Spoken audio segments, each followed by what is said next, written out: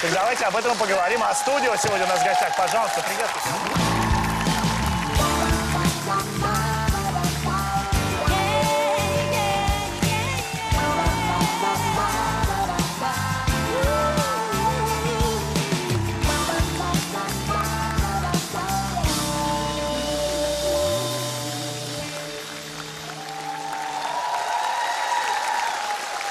Байгали Серкибаев, Владимир Миклошич, Кети Тапурия. Знаете, а вот, вот покажите, подождите секунду, вот покажите общий план с Александром Олейниковым, чтобы, ребята, посмотрите, это же, это же Абба, ребята. Это же Абба.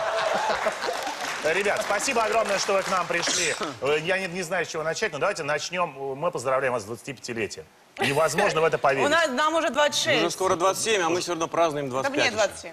Э, э, Борь, ну я так скажу, знаешь, это ты, ты нам сказал, чтобы мы об этом говорили. Понимаешь, у нас было много других пол- разговоров, там, ну ты говоришь, 25 лет, и это важно для нас. Для нас, для, для людей, которые э, на песне «Нелюбимая» э, выросли.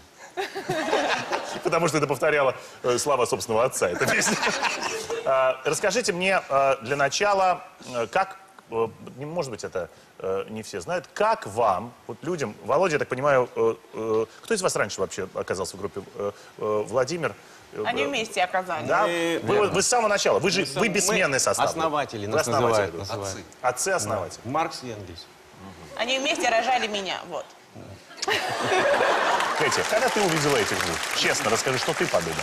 Слушай, ну на самом деле изначально я подумала, блин, такие, ну, типа взрослые, и у нас такой барьер, как бы, в возрасте, и будет, наверное, скучно. А потом через там месяц я поняла, что, господи, Скучно мне стало. вообще не скучно, да, скучно вообще не будет, потому что они такие же куку, как и я. Нашли друг друга. А вот... А вот какие они куку, мы узнаем, посмотрев рекламу на Первом канале. Вернемся, пожалуйста. Далее в программе группа А-студио.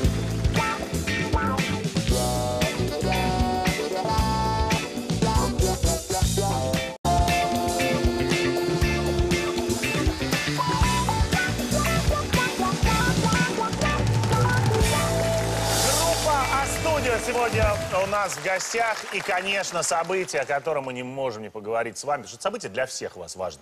Не, не просто Кэти выш- выскочила замуж. Не просто так. Нет, Кэти вышла замуж. И это важно. Это событие произошло в день рождения Кэти, Да. 9 сентября. На это событие пригласили всех. Да не всех. Кого-то не Вас было. там и не видели. Вас-то мы не видели. Рла весело говорит. Володя. Кто-то не смог просто. Так а, объясняет это Кэти. Я, оказывается, не смог. Кэти, подожди, ну подожди.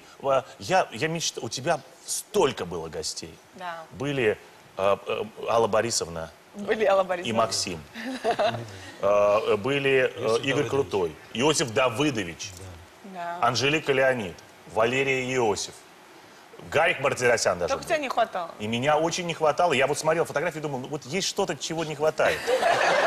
Слушай, а что за слух о том, что э, участники группы «А-студио» где-то это было, подарили Кэти Тапуре декретный отпуск? Что это за такой ю- Да, я юморок знаю, такой? а? Очень часто говорят в последнее время, что я беременна, и от тебя тоже говорят, что ты говоришь, что я Я беременна. говорю, что- кому я это Ну, сказал? раз Ваня сказал, ну, значит, это так. Я не понимаю, а я что, главный по беременности в этой стране? Так, секунду. Значит, я официально заявляю от лица Первого канала. Мы никогда этого не говорили ни в эфире, ни за кулисами. Даже Сашка э, часто меня приходится спрашивать, ну есть кто беременный? Я говорю, никого. Говорю, ну точно Кэти там нет, поверь мне. Я говорю, там вот в этом списке... Нет, между прочим, а ты помнишь, вот, да, я хочу показать фотографию со свадьбы. Это э, муж э, Кэти. Муж уже, все, Да. муж, да, Лев. Лё- Лёва, Лев. Вот как, как приятно, что остальные музыканты, погруппнее, пожалуйста, покажите, отреагировали э, с радостью на ваше бракосочетание. Я, знаете, э, что хочу сказать? Э, Ведь, э, э, ве- ведь не, не взял когда-то ты, Боря, вот в студии женщину, видишь? И вот она и отомстила. Вот посмотри. А, я просто, я знаю, что пр- предложение Лева тебе делал на далеком острове. Да. И самое главное, что в этот момент на этом же острове был я. И, ты я помнишь, тебя встретила. И вот скажи- ты знал, что я беременна. А тебе- Все сошлось. Значит, э, расскажите мне, я знаю, что сегодня будет какая-то специальная песня, и тоже она связана, опять же, С беременностью? Ну, как, родителями. как называется песня? Песня называется «Папа-мама». Папа-мама. А с чем это? Называлась бы она папа-папа, понятно, никакой беременности. А тут папа-мама? Или это что-то связано с подключением видеомагнитофона? Что это? Я не знаю, вот так решили назвать песню. А, Это ну, новое что-то? История вообще Да. была, откуда взялась. Сначала музыканты же, ты же знаешь, когда пишешь музыку, на каком-то птичьем языке все это поется. И, и была такая фраза «Папа, мама, think and then and-». Я говорю, о, папа, мама, вот это оставим. Как интересно. Да, и я попросил Вот поэта, это да. попросил поэта, давайте начнем прямо песню со слов «Папа, мама». Ну, Это песня, Всё. которую написал Игорь Яковлевич. Это песню написал Игорь Яковлевич? Да, конечно. У нас Это одна из лучших песен, которая прозвучит в нашей телевизионной передаче. Надо стоя И- объявить. Игорь Яковлевич Крутой написал песню, называется «Папа-мама». И он так, э, э, но слова написал не он. Нет. Потому что Игорь Яковлевич композитор. Да. Давайте же эту песню послушаем буквально вот через одну маленькую секундочку. Давайте ее послушаем и проверим, насколько эта песня превзошла все остальные песни Игоря Яковлевича. Пожалуйста.